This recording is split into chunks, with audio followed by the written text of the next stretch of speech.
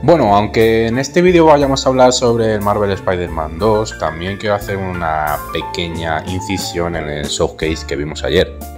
Pero antes de nada, y es que por un lado no sé si estar decepcionado o no, porque lógicamente al final son todos rumores lo que vamos escuchando a lo largo eh, de todo el tiempo hasta que se acerca el showcase y al final no metemos la patata y la hostia. Pero bueno, en este caso hemos tenido Alan Wake 2, un pequeño gameplay trailer y hemos tenido pues ese teaser de Metal Gear que yo creo que es eh, lo más interesante y sobre todo que van a sacar las ediciones eh, remasterizadas.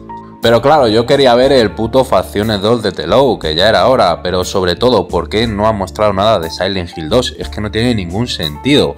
Y bueno, ya si, si hablamos de temas fangosos, tendríamos que haber visto algo de Bloodborne. Pero es de recibo decir que Spider-Man 2 se ha carreado prácticamente pues, todo el showcase.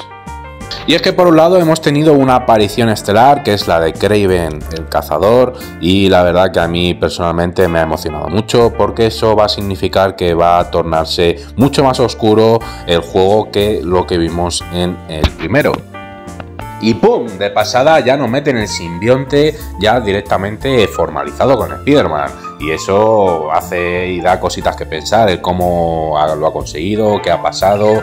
Bueno, eh, en principio ya digo que se ve espectacular, eh, yo por lo menos lo veo así, eh, las habilidades que muestran del simbionte fusionado con Spider-Man mola muchísimo, se va a sentir realmente bien y evidentemente no han mostrado a Venom como tal porque lógicamente eso se lo van a guardar para el juego y va a ser pues junto con Kraven eh, una de las sorpresas que nos harán gritar a los fans y eso está claro. Lo que sí mostraron en bastante gameplay por así decirlo y las habilidades que tiene Peter con el simbionte son espectaculares, muy bestias y muy brutas, pues caso que se le viene directamente como anillo al dedo porque lógicamente tiene más fuerza. Lo que se, también se filtró hace un tiempo que vamos a poder eh, pues eh, jugar con dos personajes, en este caso con Miles y con Peter, pues se ha hecho realidad y vamos a tener un estilo GTA de poder ir cambiando y eso me gusta muchísimo. Y está claro que con Peter ya la cosa va a cambiar, sino que vamos a ir a lo bruto,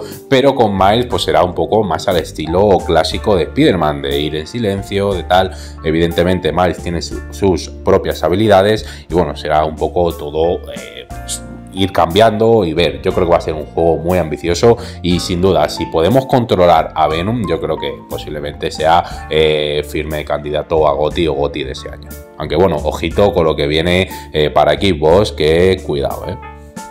Lejos de todo lo bien que se ve tanto Miles como Peter con el simbionte, ha aparecido el lagarto, coño, algo que está muy también. Eh, me molaría ver otra vez a los seis siniestros, claro, hombre, ¿por qué no? Ya tenemos a Kraven, tenemos al lagarto, bueno, quién sabe, igual aparece otra vez el duende verde, no sé. Por poder puede aparecer cualquier historia.